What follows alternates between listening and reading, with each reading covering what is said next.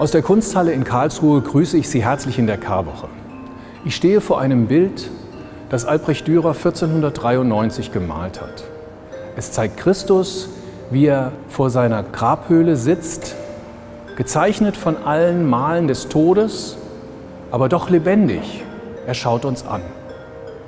Was will uns sein Blick sagen? Was bedeutet er? Trauer, Unverständnis, Ohnmacht?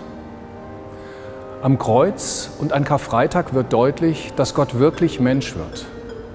Christus erlebt all das, was wir erleiden können. Hass, Verfolgung, Folter und dann auch den Tod. Christus ist mit uns gegangen.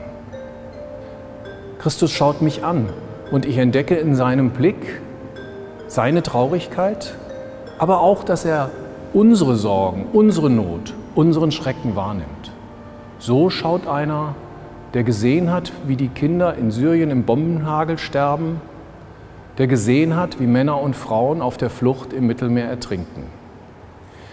Ich entdecke in dem Bild aber auch einen Blick auf mich.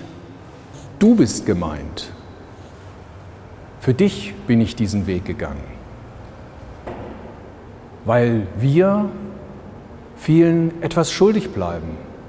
Menschen, die uns nah sind, Menschen, die uns fern sind, aber eben auch Gott. Weil Gott uns auf einen Weg schicken wollte und wir konnten ihn nicht gehen, weil wir vom Tod umfangen waren. Aber das Bild hat auch eine andere Seite. Ruf uns aus den Toten, Christus. Lass uns auferstehen. Das ist die Rückseite des kleinen Andachtsbildes. Wir sehen kräftige Farben, die aus der Tiefe des Raumes durchscheinen. So wie bei einem Achat, einer Scheibe, die aus einem bunten Stein hinausgeschnitten ist, durch die das Licht hindurchscheint und gleichzeitig den Raum füllt. Auf der Vorderseite hat Albrecht Dürer mit feinen Pinselstrichen sehr genau uns ein Gesicht gemalt, eine Figur Christus, die uns zeigt, was Tod, Trauer und Schmerz ist. Aber wie stellen wir die Auferstehung dar?